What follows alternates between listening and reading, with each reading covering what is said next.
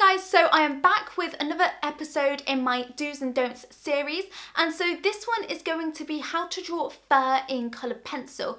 So I've already done one on drawing fur in graphite but obviously coloured pencil is a whole different sort of ball game, loads of different techniques so I thought I would do a separate episode on drawing fur in coloured pencil. So anyway guys, let's get into it. So on the left hand side I'm going to be doing the don't study and on the right hand side it is going to be the do version. And so the first thing that you should do is create a really light outline sketch for where your main sections of fur are going to be. So the direction of the fur and all of that sort of stuff.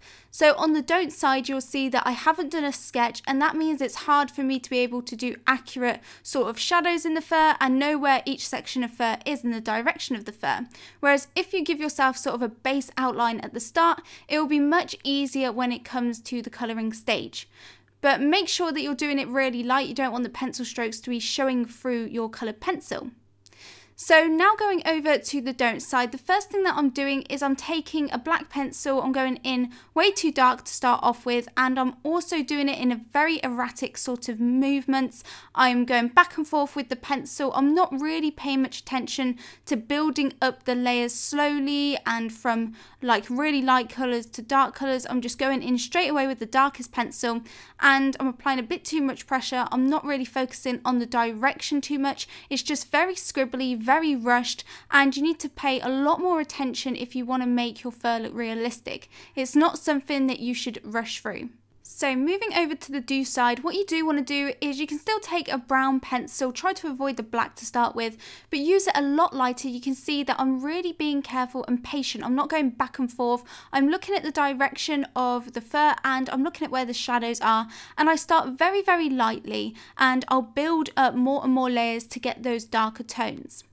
So what I'm doing is I'm using lines and I'm going from one end to the other and then I start a new line. I don't just go back and forth and use that scribbly sort of motion. So really look at each section of fur where the shadows are and try to block them in with the darker brown pencil.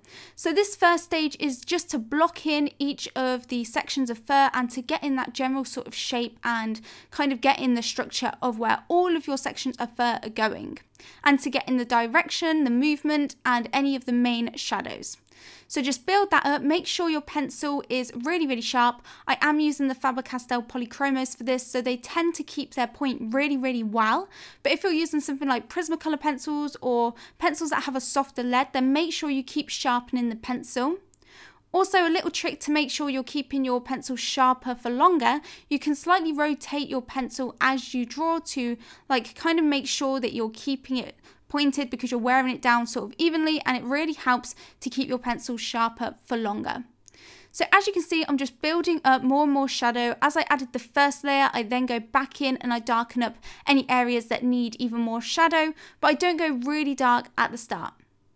So moving back to the don't side, what I'm doing wrong here is I'm using a dark pencil, so the brown pencil again, and I'm shading in the whole area of fur. I'm not paying attention to the direction, I'm going in very random directions, and I'm just shading over the whole thing. I'm not thinking about where the highlights are, I'm not thinking about what areas I need to preserve for the highlight bits of fur. So I'm just shading in the whole of that circle, and I haven't paid any attention to the actual shape and structure of the fur. So what you do want to do is you want to go in with a light pencil to start with. So your lightest pencil, the colour of your highlights. And I'm going in with the cream polychromos pencil. And so I do shade this everywhere to create a base layer, but I'm going with the direction of each section of fur. And I'm really taking my time to do this. You also want to make sure you're doing it nice and light. Don't go in with scribbly, heavy applications of the pencil with too much pressure. Otherwise you'll get stubborn pencil lines that will show through and it'll be hard to erase them if you want to. So back to the don'ts now, what I'm doing is I have to go in with a darker pencil because I've already gone so dark to start with. So I'm just building up even more shadows and I'm just applying it again in the wrong sort of way with those scribbly motions. I'm not paying any attention to the soft transitions between the fur. It's all very outlined and heavy. What you do want to do is slowly go up to darker pencils. Try to get in lots of different tones of colours. Like you can see now, I'm using a warmer hued pencil, that slightly orange tone. And so I'm really slowly building up the layers of different colours. You'll see I go through a good few different colours. I started with that orangey tone, then I switched to a light brown, and I slowly build up the shadows in each section of fur. I really give each sort of section of fur attention and I don't rush through any of the sections. It can be like kind of tempting to rush through it if you've got a lot of fur to do, but really make sure that you're really paying attention and being patient with it because colour pencil is a really slow process. So I'm just using that brown to darken up the shadows. And so as I go to darker and darker pencils, I'm just using them less and less because I won't need to use the dark pencils on as many places. It will just be on the really shadowed areas. So now I'm going in with a darker brown pencil. This was the brown pencil that I started with on the don't side. And I'm just using this with a bit more pressure to get it to show up a bit more to go and do the really dark sections of fur. So this could be the sort of underneath layers that have that aren't getting as much light. And so just look at your reference image to see where those shadows are. So again, I'm still going in lines and I'm really making sure that I don't get tempted to do that back and forth scribbly motion, which is something that I do see so many people do. When I do my critiques and people have drawn animals in colour pencil, it is the most common thing that I see people do is go back and forth and make it look too heavy and too outlined. So now I'm going in with a black pencil. Now I'm going in with that darker pencil because I've worked up to it. I've built up those other colours. And so I'm using this on those darkest areas again. And it is so important to make it look like your fur is in layers, that it isn't just two dimensional, one layer of fur. They are layered and there will be the highlighted strands of fur on the top and then those underneath layers which will have shadows cast on them from the layers of fur above.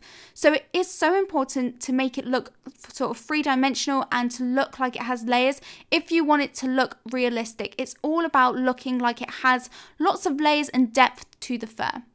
And to make something look like it has a lot of depth, then you need that contrast. You need those dark shadows and those bright highlights. As you can see on the do side, I am also preserving the highlights. So you can see automatically where those lighter areas are because I haven't put dark pencil on them. So now I notice that on the don't side, I actually need to lighten it up.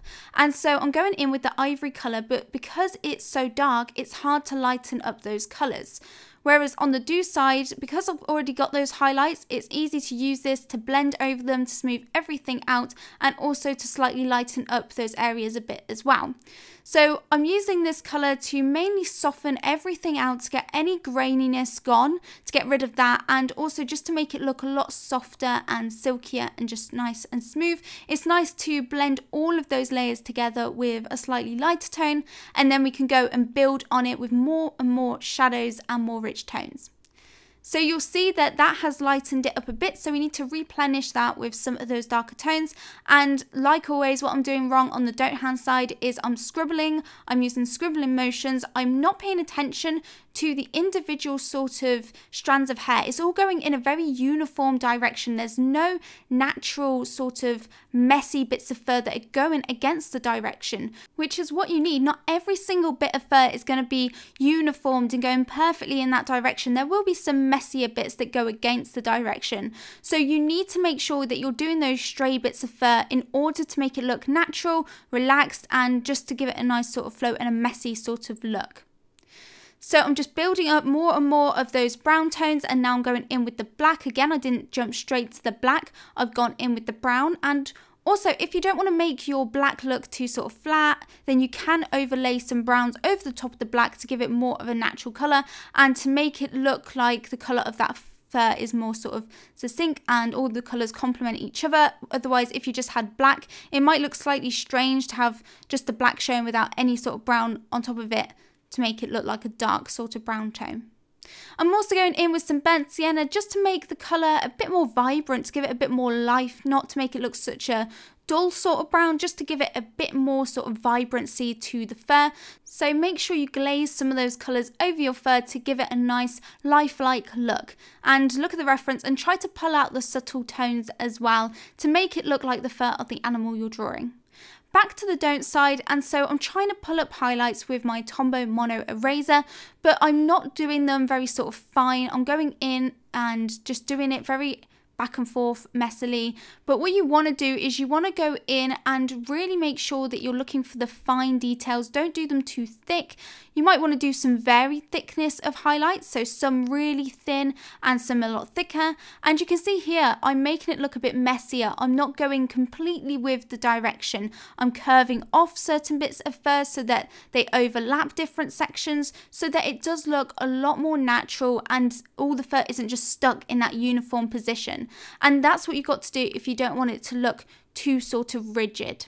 So pulling up these highlighted bits of fur makes it look like you've got that top layer of fur. So these most highlighted bits are the ones that are on top and this adds depth because you've got that contrast. You've got those really highlighted bits of fur that are getting the most light and so they are like the top layer and then you've got the darker ones which are sort of the layers beneath. So adding these highlighted bits of fur is a really great thing to do at the end in order to make it look like it has a lot more depth by giving it more contrast.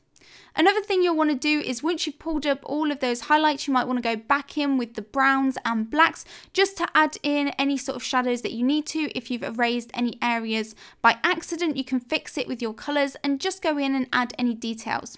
But what you definitely don't want to do is go and try and outline sections of fur. But those are basically the main do's and don'ts for drawing fur. If you guys want to see even more real-time versions of how I draw fur in coloured pencil as well as animals in lots of different mediums and portraits, then check out my Patreon. I have loads of new real-time tutorials on there every single month that you can watch and follow along to. Anyway guys, that is it for this video. I really hope you enjoyed it. If you did, make sure to give it a like. And if you're new around here and you want to see even more do's and don'ts videos, make sure you hit that subscribe button. But that's it from me and I'll see you in the next one. Bye everybody.